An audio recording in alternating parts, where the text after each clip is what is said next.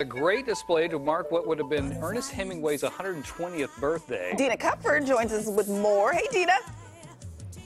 Good morning, everyone. Yes, I know it's a rainy day, so what a perfect opportunity to get inside of one of your local libraries and uh, really just go through all the wonderful books and different pieces of literature they have. And here at the Rocklin Library, they are celebrating Ernest Hemingway's what would have been his 120th birthday, the American literary icon, by doing a whole host of exhibits. And so, of course, many of you had to read this book or wanted to read this book growing up. I know I did in high school, The Old Man and the Sea.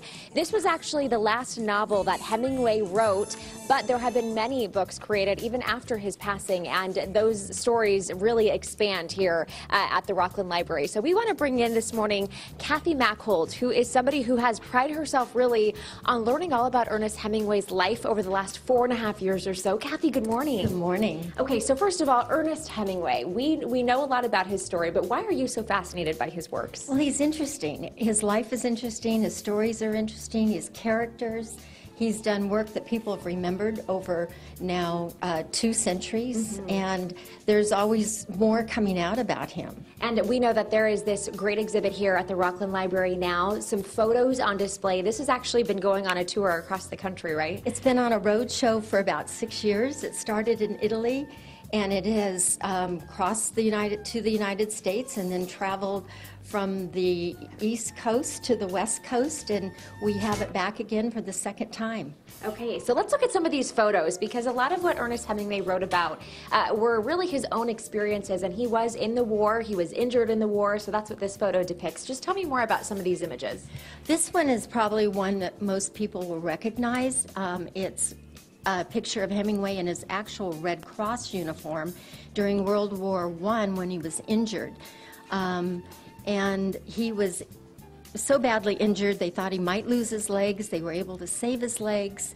It took about six months for him to recover to be able to return home. And he was a man with many wives as well. And so we want to point to this photo as well because Ernest Hemingway had a history of, of being married.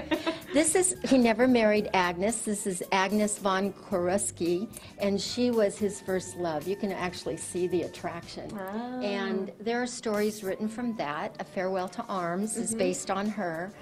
And then he uh, wrote The Sun Also Rises from many of his experiences during that time period, too. Wow. Okay, so cool. So you can come out to the Rocklin Library. How long will the exhibit be here? It'll be here for another month. Okay. And then it'll move to Auburn, and there'll be at two locations in Auburn the library there and um, another art gallery. Okay, there you go. So come on out. Rainy day activities, guys. Check awesome. out Ernest Hemingway, an American literary Absolutely. icon. Back to you. So I performed a wedding at Hemingway's house down in Key West. How cool is that? Yeah, it was after they, they closed down the museum and uh -huh. everything. Well, you know, they get the crazy cats with the yes, extra toes. Six toes, yes. Yeah. And the bride, she had a long train, and one of the cats walked across the train, so okay, they had the toe hilarious. paws all the way across oh, it. Really cool. Really Six toes. The stories you have.